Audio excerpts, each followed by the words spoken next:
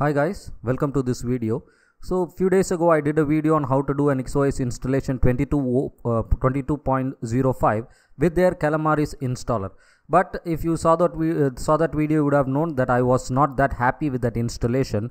And later on, when I tried to uh, import my config files, to that NixOS, it didn't work. It failed because there was some problem with the slash boot partition, etc. So there is some problem. Something is uh, messing up with my partitions uh, through the Calamares installer. And so today, what I'm going to do is I'm going to do a normal NixOS installation without using the Calamares installer, and I'm going to import my config files and see if they work in case they work then I am actually planning on shifting my main computer from Arch Linux to NixOS. Arch Linux you can also work always work in them in some virtual machine. So without any further uh, ado let's get started. So first let me open up virtual machine manager here.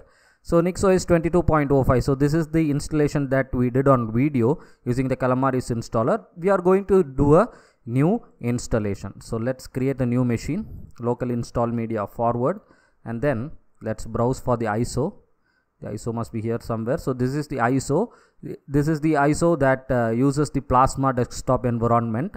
Choose volume. It says NixOS stable but it's not. NixOS unstable. Sorry unstable. It's not unstable but it is NixOS 22.05 since it's a very recent release maybe virt manager has not been updated to that fact. Let's go forward. Let's give it 4 gigs of RAM. Should be sufficient. 3 CPU cores and we will allocate storage separately. I'm going to give it uh, 30 gigs of uh, ram because my config file will have a lot of programs. I'll try to uh, avoid all those virtualization programs. We don't need that. But rest of the programs have go are going to be installed. So let's give it a more storage just to be safe. Let's finish it. So it will allocate the storage. Okay it's allocated so this is the storage nixos dash unstable. So the name of the storage is nixos uh, dash unstable. No problem about that. Let's choose that. Let's go forward.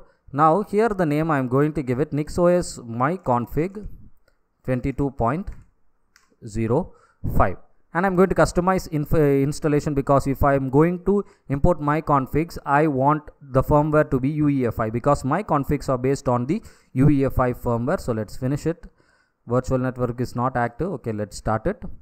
Then here in firmware we will give UEFI then apply and begin installation. So first we are going to install NixOS then what I'm going to do is after the installation is completed we'll uh, we'll generate the config and when generating the config I'm going to copy my config file which is in my GitLab and replace it with the default config and then hope that it works. I'm just going to be removing the virtualization stuff that is virtualbox virt manager libvirt these things will be enabled. Those things i'm not going to do it inside a virtual machine. So i'm going to disable those things. Remaining everything i'm going to leave it as it is. And so let's uh, do this thing. If this works out successfully then i'm going to change my operating system my the operating system that is running on my computer from arch linux to nixos i always like nixos i moved to arch linux to do a particular work but i didn't do that. So anyway it's time for me to go back to nixos so i've been spending a lot of time in nixos rather than arch linux especially this year. So the plasma made by kde the desktop environment it's a heavy desktop environment. It's taking a bit of time okay so it will open up the calamares installer but i don't need this calamares installer so i'm going to close it and then i'm going to open up a terminal. There is the cursor flickering is going on. That's because the resolution is not set properly. You can see the black bars here on this side and this side. I'm going to set it to my screen resolution. It's uh, 1920 uh, into 1080 so enter. So that should set the uh, resolution properly Next you have the NixOS manual. So we are going to be following the manual. The thing that we are going to do is actually the NixOS installation was very easy even from the start. It's just you have to do some partition, generate the config file, make some changes in the config file and then build the system. That's it. It's a very easy uh, installation. So let's go here installing NixOS. Let's come down. These are all not that necessary. You can uh, read it if you want. We have to make partitions. So since we are in a UEFI partition, I'm going to make this full screen. I'm going to use the fdisk uh, partition tool you can use parted if you are following the NixOS manual you can use cfdisk I guess but I am going to be using FDisk. disk mean I am going to make three partitions one root partition the main partition then two a swap partition and then the third one a very very important it's customary it's not optional it's compulsory if you are in a UEFI firmware to create a boot partition. So first let's make a uh, let's do fdisk dash l. You have to give sudo because without sudo you cannot do you cannot log in as root actually. If i give as root it will ask the password and it has a password which we don't know. So always use uh, sudo in front of all the commands now sudo fdisk dash l we did and we got the name of the disk. It's slash dev slash vda. So sudo fdisk slash dev slash vda. We are going to partition this disk. So enter.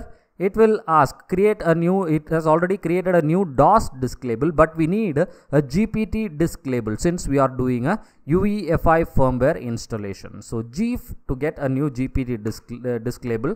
So created a new gpt disk label. The next that we letter we have to give is n for new partition. So n partition number by default it's 1 so it's 1 anyway. Enter. The first sector always leave it as default. Then the last sector we give the size of the partition. I'm going to give it 500 megabytes. This is going to be the efi boot partition. So enter. It's created partition 1 of type linux file system. It should not be linux file system. We are going to change that in just a minute. Next new partition. This is going to be the swap partition. So that will be the second partition. Again leave the first sector as default. The last sector just for the sakes of this video i'm going to give it 2 gigabytes of swap. And then finally the last partition the root partition first sector default and last sector is also default because i'm going to allocate the entire remaining storage to this third partition. Enter. Now we have to change the file type the partition type of the first one and the second one. The first one should be EFI system and the second one should be Linux swap. The third one should be Linux file system. So no problem about that. Let's see if we can make this a little bigger. Yes, we can. So that you can see it more clearly. So now what we are going to do is we are going to do T. T is for changing the partition type. So enter and partition number is the first partition. We want to change the first partition. So 1 enter and the partition type or alias. If you don't know the partition type if you don't know the number for the partition type you can do capital L. I already know it. It's number one for EFI system. So change type of partition Linux file system to EFI system. So the first partition has been changed to EFI system. Now again T.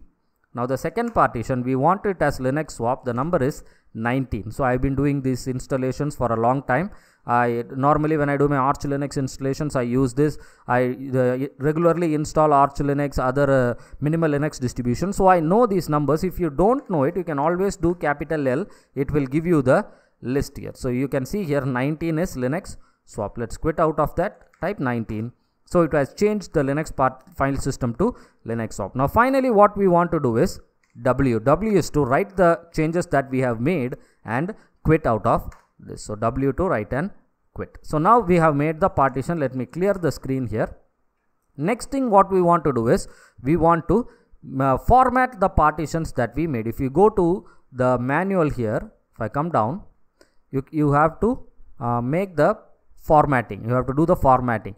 So the, uh, the, they have made the first partition as the root partition. It's your wish. You can make whichever partition, the root partition, the boot partition, the swap partition. It's up to you. So the the thing is, the root partition should be extend 4 and for UEFI systems which we are using, the boot partition should be FAT32. So those are the things that we have to note. So now we are going to do the partition.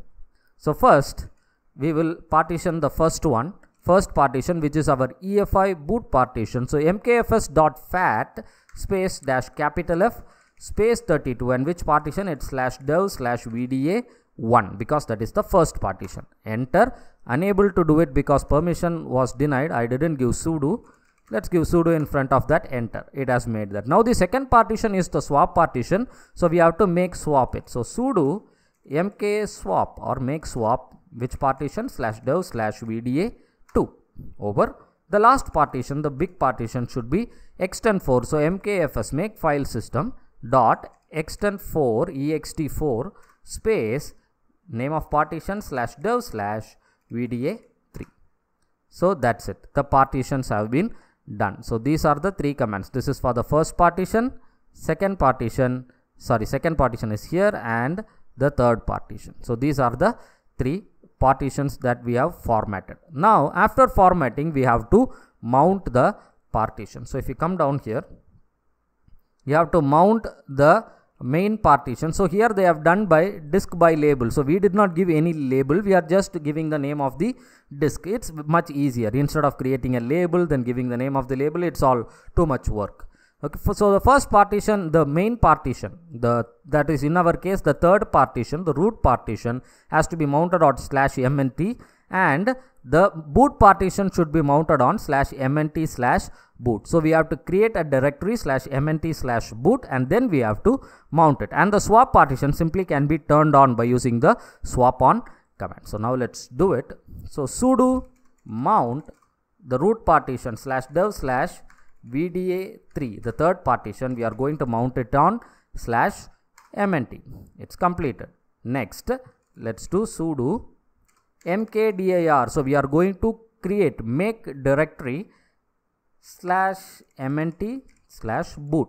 We are going to make this directory, then we are going to boot the EFI partition to this directory. So, enter the directory has been made and then sudo mount the name of the disk slash dev slash VDA 1 that's the name of the partition then slash mnt slash boot. So if you have a separate partition for home then you will do sudo mkdir slash mnt slash home then mount that partition on the home directory. It's very simple. So enter. So we have mounted the first partition and the second partition. Now let's turn on the swap. Sudo swap on slash dev slash vda 2 so swap has been turned on. So we have made the partitions we have formatted the partitions and we have mounted the partitions. Next what we have to do is, let's come down, we have to generate the NixOS config.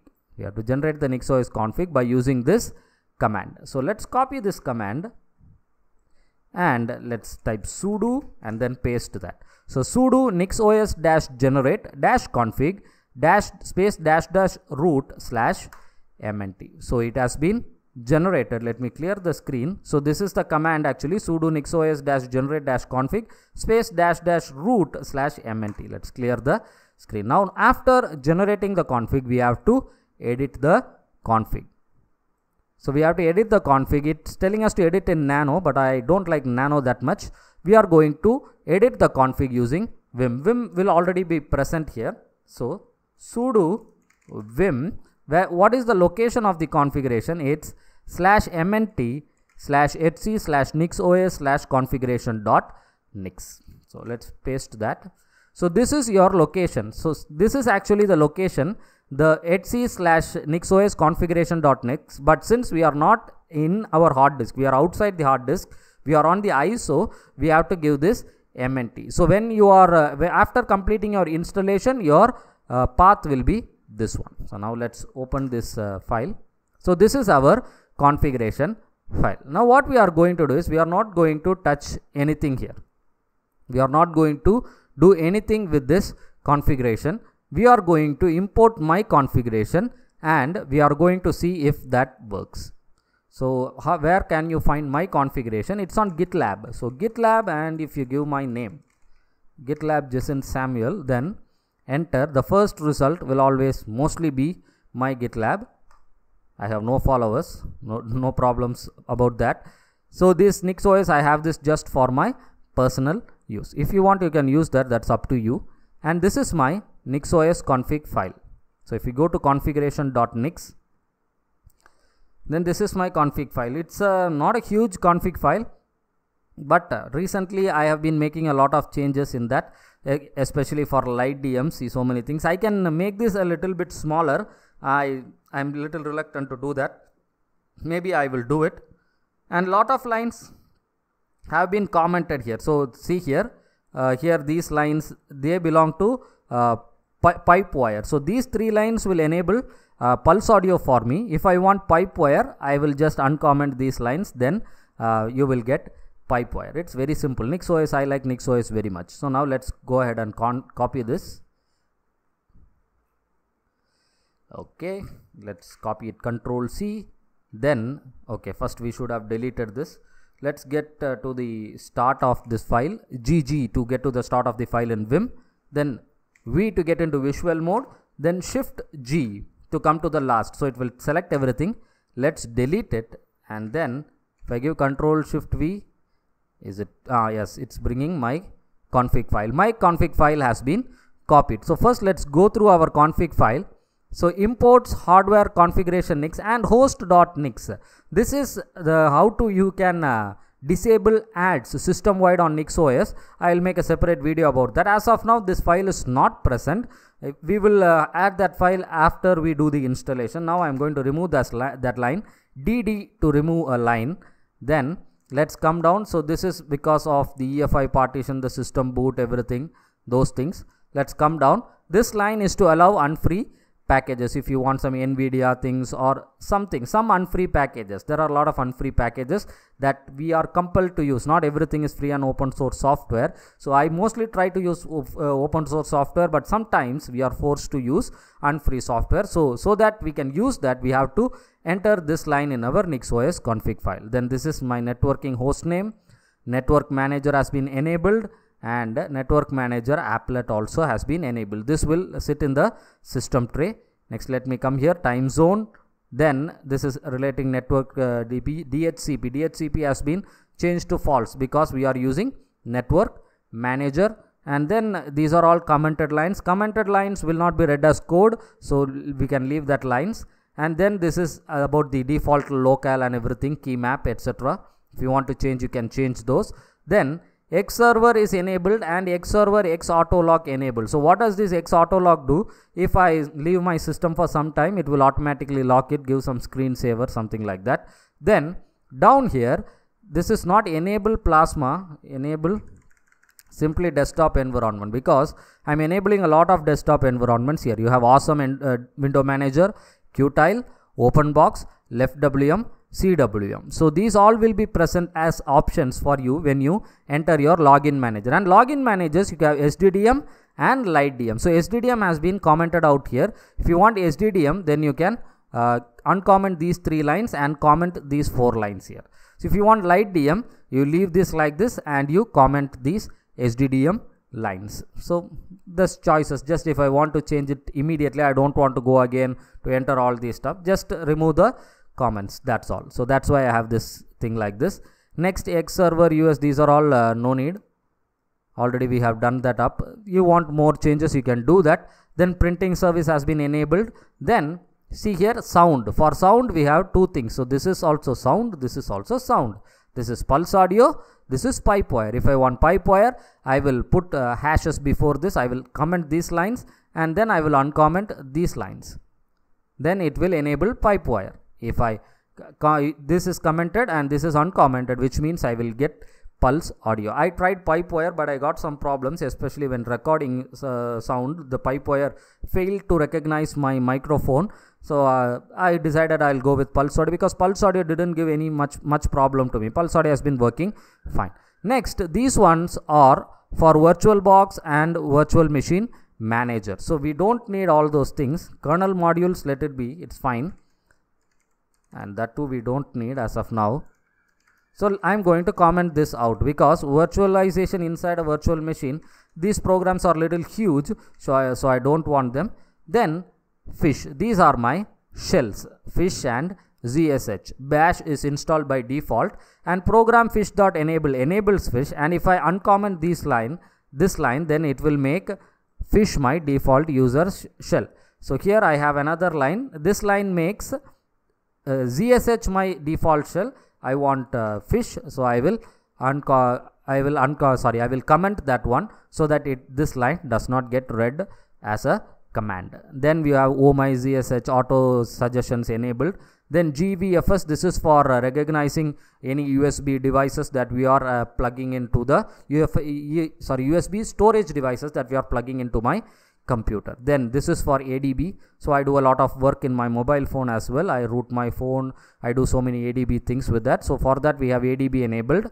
Then these three lines are for flatpak. If you want to enable flatpak we will use these three lines. Then this is user. So this is for the user. Jr is a normal user. Then these are all the groups that this user is a member of. You can add different users here. In you can add a copy these lines and you can paste it down. You can just change the name of the user and you can use it. Then environment variable. So one environment variable this is for making qt5ct to work. Qt5ct doesn't work properly if you don't set the environment variables. So we have to enable that. That's what these three lines are doing. Then these are the most important lines. These are all the packages that are going to be installed. So it's going to be a huge thing here. These are all the packages that i install on my regular machine. But anyway i'm not going to go and look at everything and i'm going not going to disable everything except Virt manager because i know that i don't need that one. So i'm going to comment that one out. Then this is for ssh if you want to use ssh then open ssh if you want to enable. Then this is for firewall.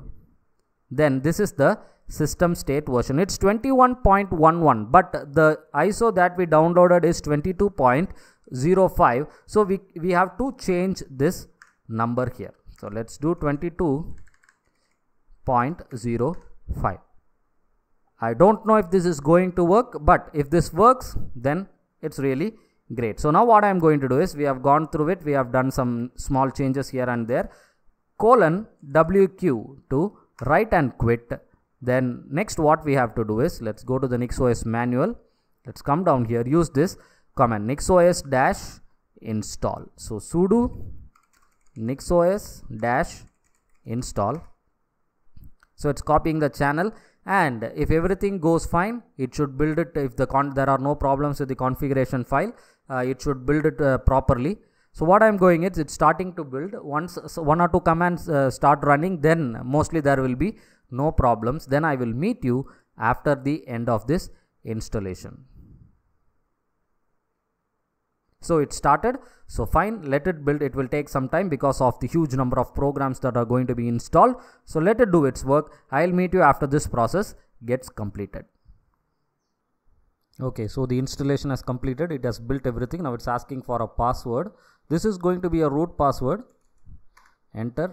Again your root password so now the installation has been finished. Now we have we can reboot. So there were no errors. So this is really good. So i'm go definitely going to be switching from arch linux to nix os today after i complete this video i'll upload this video from arch linux and then i'm going to be on nix os so that's why nix os is fantastic. Now this took me around to 20 minutes. So i'm explaining everything. So it took that much time. Otherwise this process will be around same time 15 to 20 minutes it will be completed. Just think that whatever app applications that you have uh, need installed they all will be installed just by copying your configuration file. This cannot be done in other operating system. It can be done in arch linux but you have to write a script for that.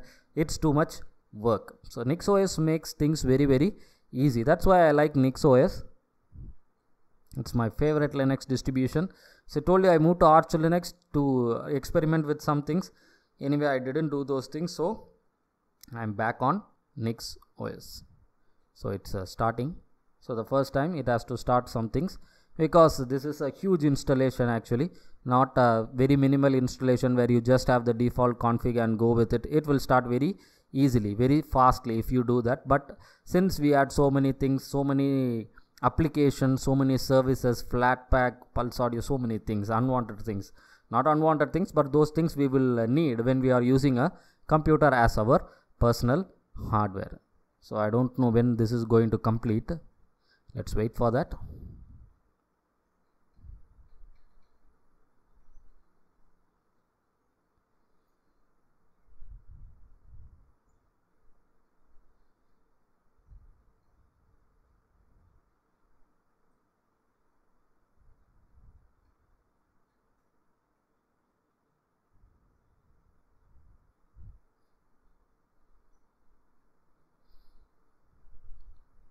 okay it didn't take much time. Okay so this is light dm i had a background image setup but that uh, background image is not found in the root folder as of now. I didn't copy it.